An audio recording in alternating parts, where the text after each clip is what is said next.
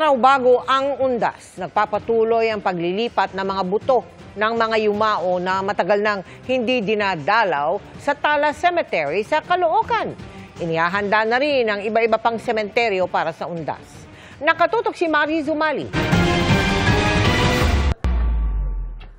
Sako-sako mga buto ang pinagtulungang ihulog sa mga butas ng estrukturang ito ng Tala Cemetery sa Caloocan. Ayon sa pamunuan ng sementeryo, buto ito na mga yumaong matagal na umanong di nadadalaw kaya inalis sa mga puntod at inilipat sa tinatawag na mass vault. Yan ay para bigyan daan ang mga bagong ililibing, lalo't apat na pong yumao ang inihihimlay rito kada linggo. Yung mga pinaglalagyan natin yan, doon mga sa nag-expire na mga kontrata. So tinatanggal natin yung mga pa, nag, ano, naglalaps na, ipapalit natin yung bago.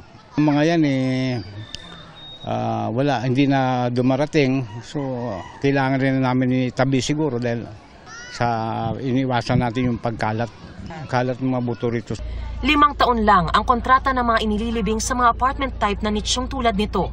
Pagkatapos ay inililipat na ang mga buto sa Stone Vault na pwedeng i-renew ng isandaang piso ang bayad kada taon bago pa tuluyang ilagak sa Mass Vault kung saan sama-sama na ang mga buto ng mga yumao.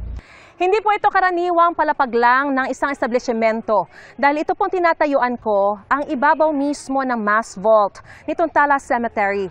At dito po sa mga butas na ito, inihuhulog ang mga buto o mga labi na hindi na kinaklaim ng kanilang mga kaanak ng walong taon o higit sa limang taong palugit. Ayon sa pamunuan, mukha mang itinambak lang ito, mas maigi pa rin daw dahil kahit papano, alam kung saan sila hahanapin. Daang libong mga labi ang kasya sa isang libong metro kadradong mass vault na sinimulang lagakan ng mga buto noong 2011. Kaysa naman daw nakakalat lang na delikado sa kalusugan. Una yung mga amoy-amoy nun, mga ano, nun, nakakasira yun sa mga baga ng tao. Saka yung mga bakterya nun. Inihihilera naman ang mga lapida ng mga labing inilagak na sa mass vault sakaling hanapin pa ng mga kaanak. Ang ilang nicho naman, inabutan kong inaayos o pinipinturahan ng kanilang mga kaanak.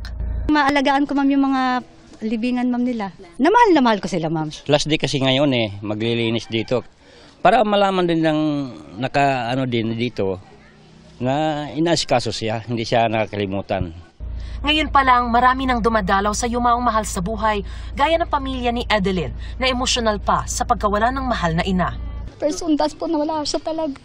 Lagi pong nasa puso namin siya. Sana pagdasal niya po yung anak namin na Huling araw na rin ang paglilinis ng puntod sa Manila North Cemetery.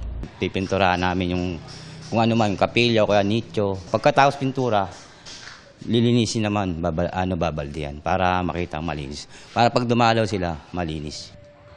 Naghahanda na rin sa iba pang bahagi ng bansa tulad sa Bontoc Mountain Province kung saan nilinis at pininturahan na ang mga puntod.